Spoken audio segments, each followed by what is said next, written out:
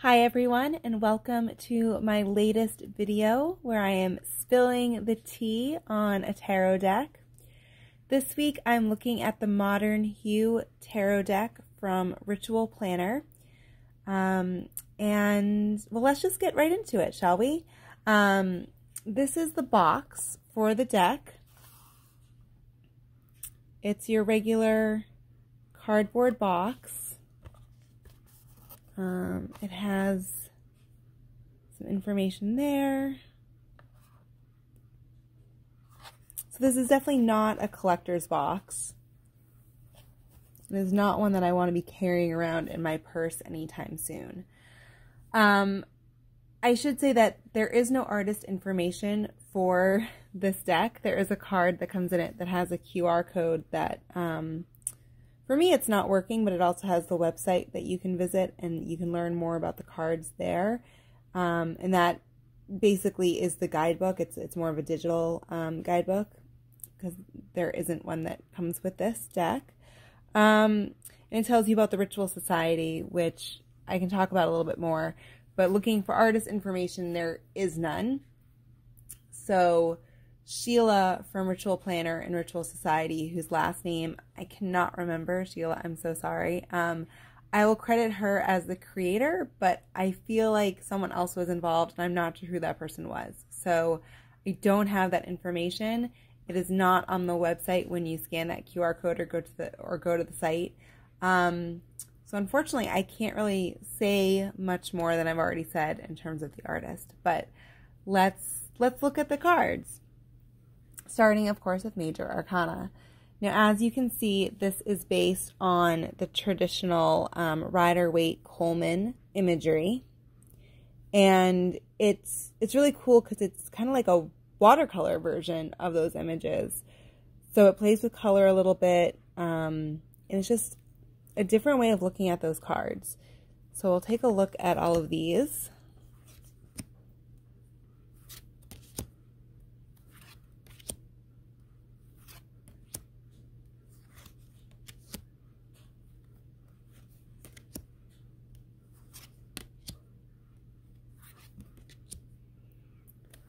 So if you're someone who's looking for cards that are symbolic and traditional, but don't like the look of the Rider Waite Colman decks, this is something that maybe you would like instead because it's basically the same, but as you can see, because of the, the watercolor um, style of it, it is different and does have a different feel. One thing I will say about these cards, and I don't know if you were able to see these as I was flipping through, the numbers are on the bottom there.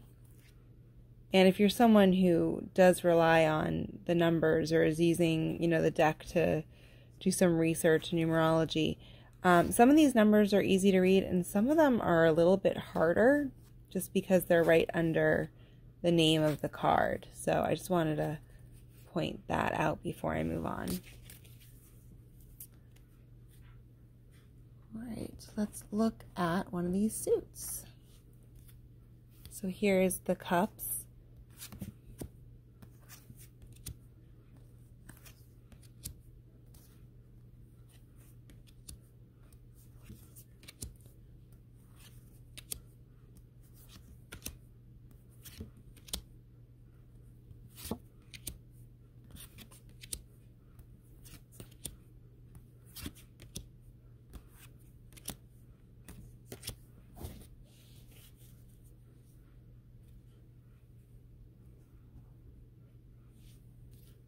Pentacles.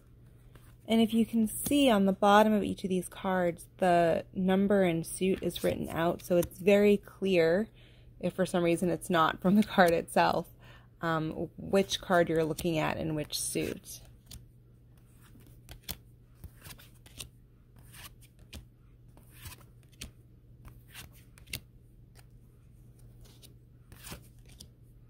The cards are a little bit slippery, probably because I haven't really used them yet and they're new. Um, so every time I, I put one down after showing you, it slips and slides and I have to take a minute to kind of make sure they don't fall off of uh, the platform I'm using here. So here's wands.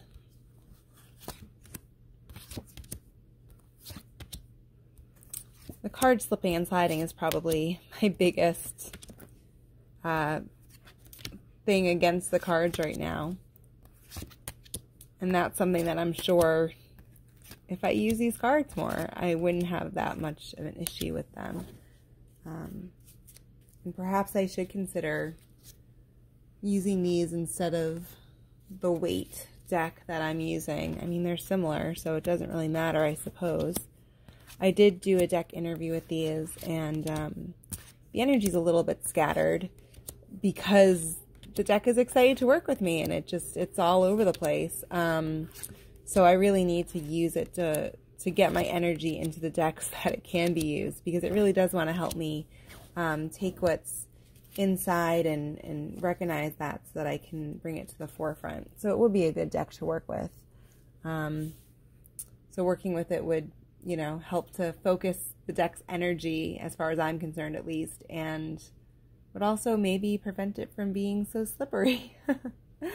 um, so again, there is no guidebook, and those of you who watch my videos know that I'm not a fan of that. Um, however, a the images are so traditional that you could look at basically any guidebook to get the to get the um, meanings of the cards and some info.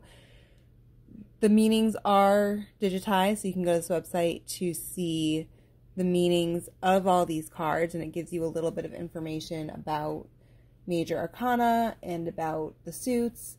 Um, it gives you no artist information, unfortunately. Um, it does tell you a little bit about Writual Society. So I, I do feel that as a member, even though this is not a video of me promoting it, that I should talk about it. Um, this deck was created by the creator of Writual Planner, and that's Writual with a W, um, which started out as a tarot journal. So if you're someone who um, likes planners, likes journaling, likes tarot, likes one or some or all of the above, um, I really recommend getting a tarot planner or journal. I'm not saying you have to get the Writual one, but I like it. Um, I started off using the Biddy Tarot one, which is fine, but I like the Writual one better when that came out and happened to find it right when it launched.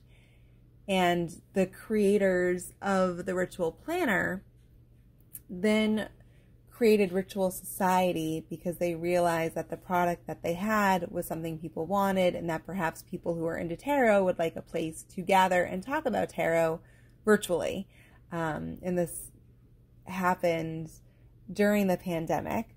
So, Writual Society is a really great group of people who come together to talk about tarot, and that has expanded to astrology and runes and um, witchcraft and um, lots of other things. There's a monthly yoga session, there's a book club, um, there are classes, there are seven day challenges.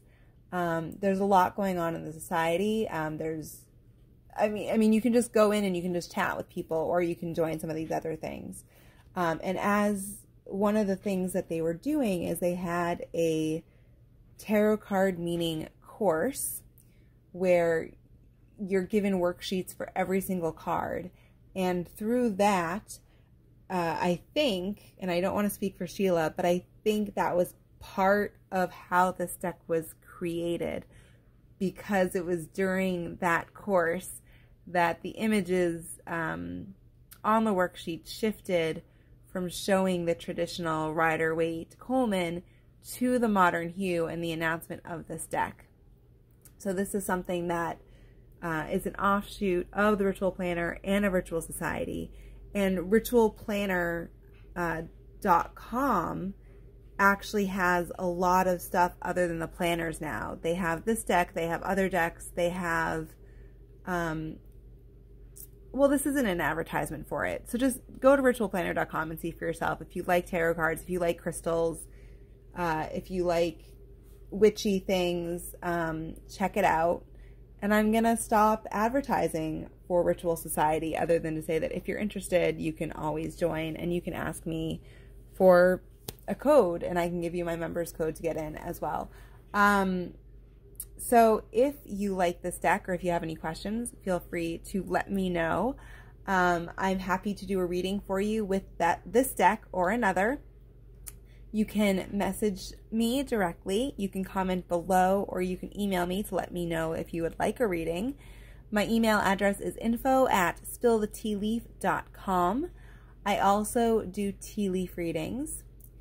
And um, if you like this deck, let me know. If you have other decks that you want me to look at, let me know. And I thank you all for taking the time to watch this video today. Thank you so much, everyone. Bye.